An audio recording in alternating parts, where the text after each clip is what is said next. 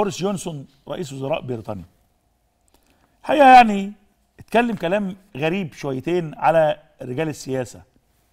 وقال كلام يعني فيه نوع من ما أعرفش بس أنا هقوله.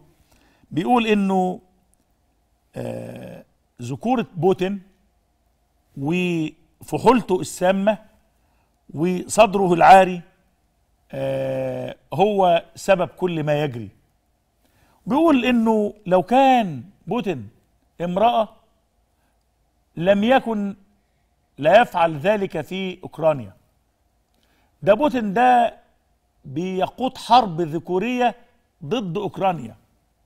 يقود حربا بصدره العاري وبيقود حربا بفحولة سامة ويقود حربا بذكورة غير مسبوقة فلو كان امرأة ما فعل هذا. الحقيقة ده أظرف وأسخف وأصعب تعليقات سياسية أراها خلال هذه الفترة. يعني علاقة إيه بعلاقه بوتين وفحولته وصدره العاري وذكورته بالكلام اللي بيحصل في أوكرانيا أو غيره.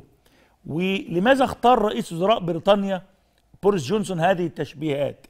الحقيقة يعني تصريح جونسون كان غريب وقال لو كان بوتين امرأة لما وقعت الحرب.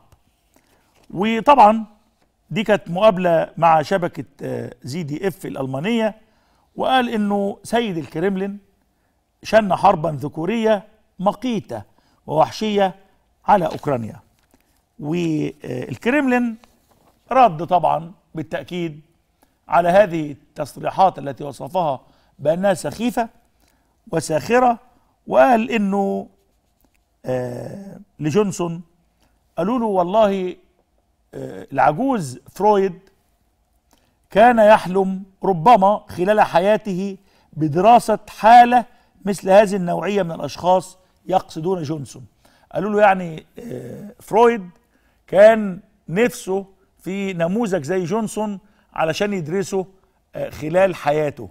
طبعا ضربات و يعني نوع من السجالات والتلاسنات بين الزعماء السياسيين.